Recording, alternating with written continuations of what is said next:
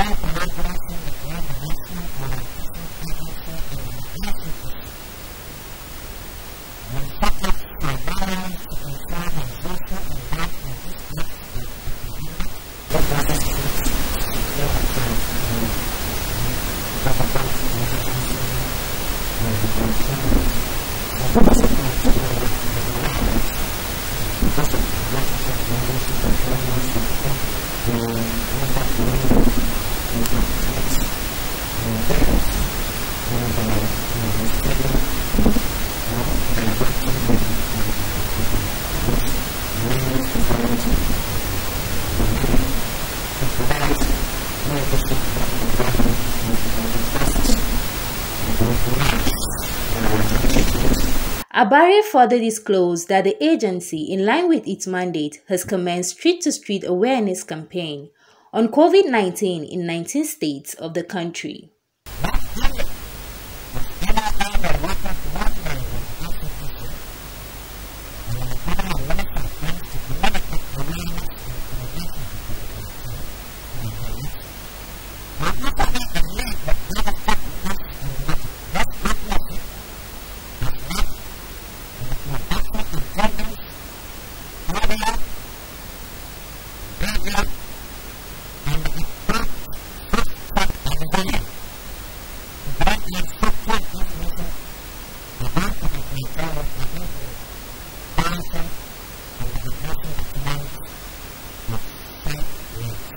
The agency further raised concerns on some of its findings in the field, which indicates that some Nigerians are yet to come to terms on the reality of COVID 19, among others.